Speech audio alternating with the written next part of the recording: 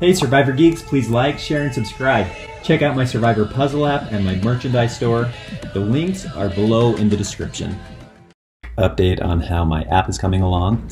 Um, currently, the name of the game is going to be called Idol Island. It's supposed to be a game that basically follows the strategy of Survivor, and it'll also have a little bit of a feel of Minecraft, World of Warcraft, Among Us, and maybe a few others of your favorites.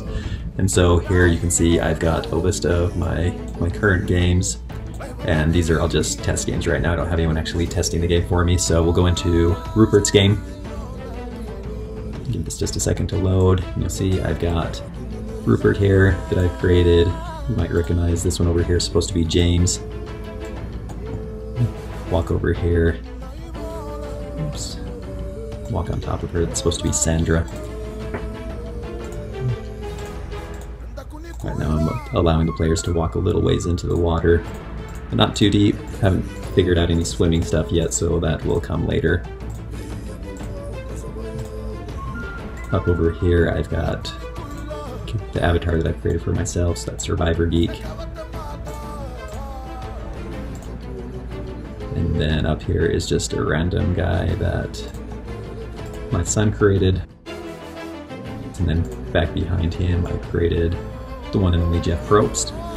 And so I've got just the, the island life, the scenery that I've been working on, and I've kind of been implementing a, a, fun chat system that I think will be be good. Communication is obviously a big part of the game of Survivor, so I wanted the, the messages to be able to direct it to just the people that you wanted to, and so I've added this feature where you can select basically how loud you're talking and so I can go anywhere from a whisper to talking to, to shouting to get to a lot of people. And so if I wanted to just talk to Jeff and Liam here, I could come in here and do, hey guys, send that message. And Rupert said, hey guys, and it was heard by Jeff and Liam.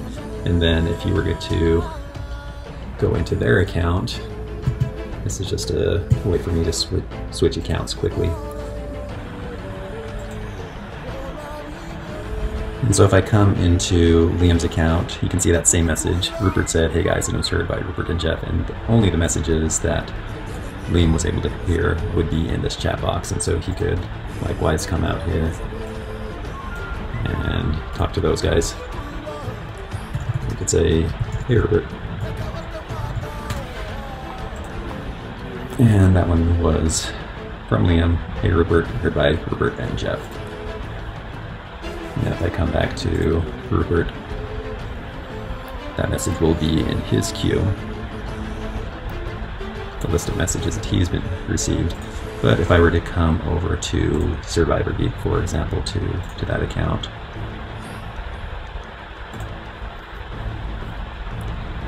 since since he wasn't around, these are some previous messages that I was testing with, but you'll see that he doesn't have any of those new ones, so kind of just fun to do that. And then I've got this, this huge world right now, and the idea will be that you'll be able to build a shelter, you'll be able to go around and gather resources for that shelter, you'll be able to gather food, you'll be, of course, able to go around and search for idols and advantages.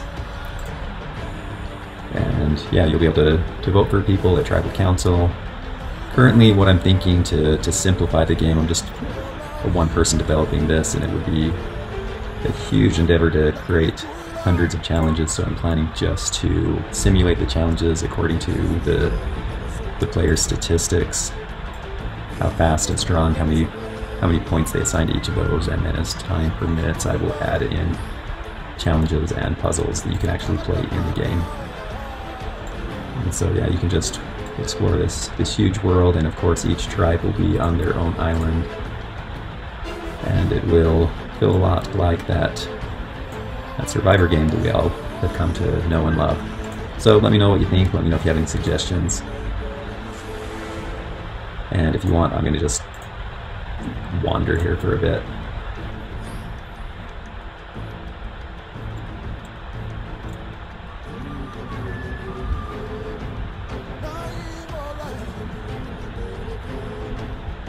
Kind of fun. I've done this game in Unity, and a lot of this stuff it takes care of on its own. If you guys are curious, there's a little breeze blowing through the trees. You can see the, the shadows on the ground. That's I think that's pretty slick for the for the amount of time and effort that I put into it. It's pretty pretty neat how quick the, this Unity game engine is able to. They do a lot of the heavy lifting for you, so I don't have to do a lot of that programming. Most of my time has been spent on the the back end, I guess, which is getting information up to the server so it can be a, a multiplayer game. And if anyone's curious, I'm using Google Firebase for that. And if you can see, I've clicked way up there on the mountain, and from time to time you can see that green dot where it's my destination. Right up there. Oops, an accident clip there, so. And yeah, I tried to make the, the camera movement a lot of very similar to what you would be used to on a World of Warcraft type game, where you can spin around as you're as you're running. You can zoom in, in or out.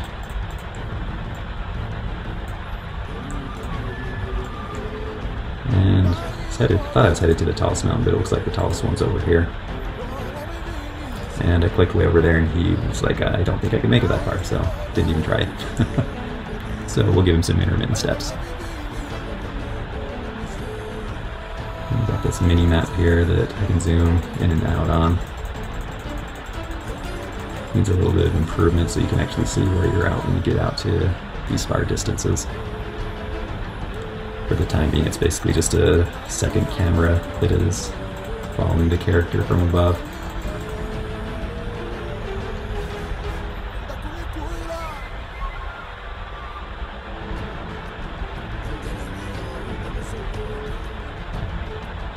Yeah, so you can see it's a really nice sized island. A good amount of detail, I think, that depending on how difficult I make it, the idol searches could be crazy difficult, or I might tone it down and just say, okay, I'll give you a few few locations that it could be, go check them out and see if you can find it there. Or as you get a clue, it might narrow down the might narrow down the possibilities of where you can the idol can be found.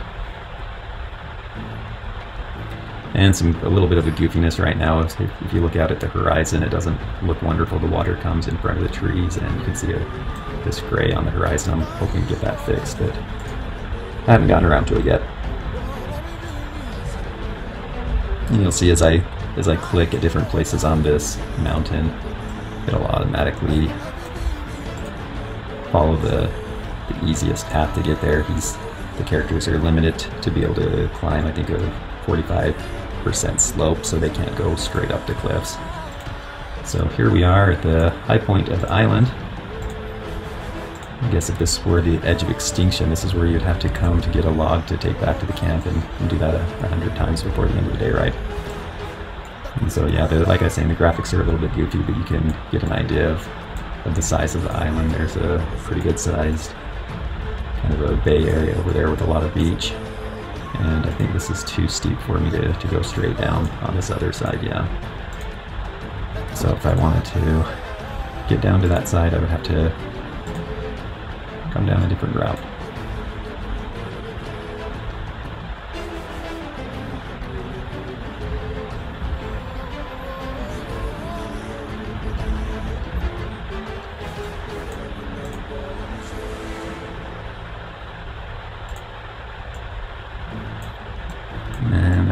Too steep also.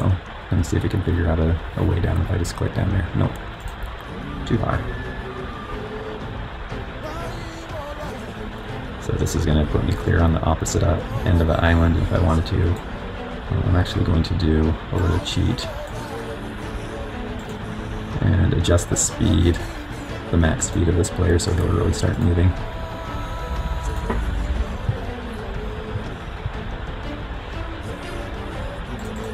We'll go from 6 to 25, so that should really get him moving.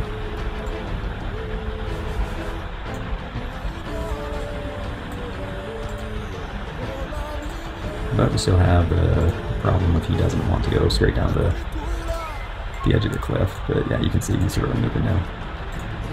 And I will, according to, I do let you, you select the different strengths and weaknesses of your character, and so according to how fast your character, how, how high their speed is, it will determine how quickly you're able to move around on the map. You also have a stamina indicator that will determine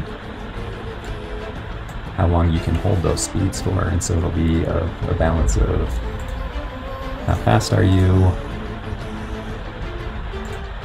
and the, the endurance you have, and also it will there will be different things like strength and your camp life that will determine how well you or, yeah, how well you were able to, to gather resources, for example, how much you're able to carry, and that will also all of those statistics will also, of course, give an impact on how well you do in the challenges.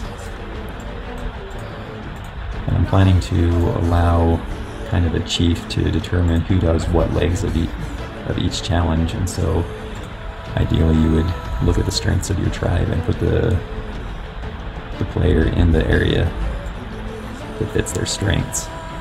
And if you make a bad choice, I guess your your tribe will get grumpy at you.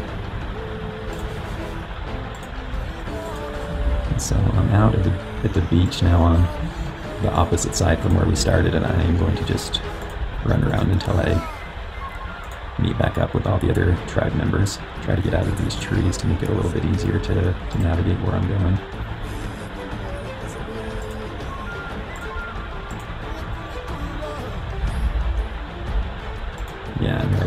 The, water looks a little goofy, so I'll need to clean that up a little bit.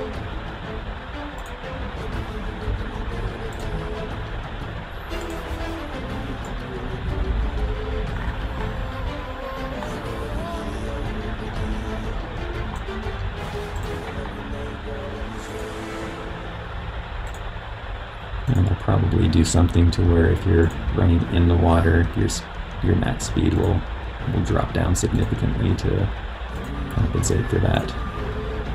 The water you're pushing through for the time being, you just go the same speed in the water as you do on the ground. And if you're still watching at this point in the video, congratulations, I guess.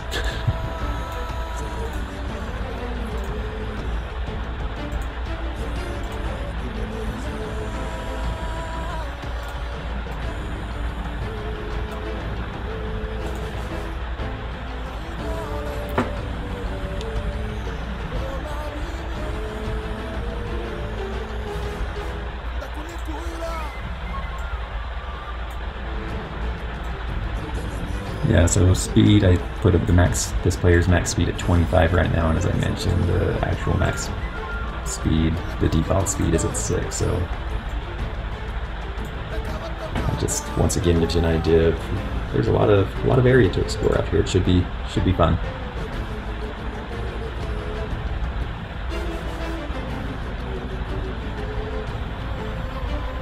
And the trees kind of move a little goofy as I approach them. on the to change the settings on that.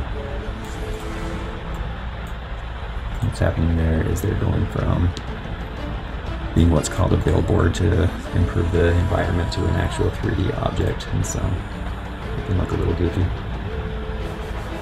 Alright, made back to the main camp area. As you can see, as you switch from player to player, I do have the multiplayer that part in, so I've moved Survivor Geek over here. And so now if I come over to having Rupert be the main character, you'll see that he's right there where we left him. Alright, well that's it. Let me know if you have any questions or suggestions. Have a good one.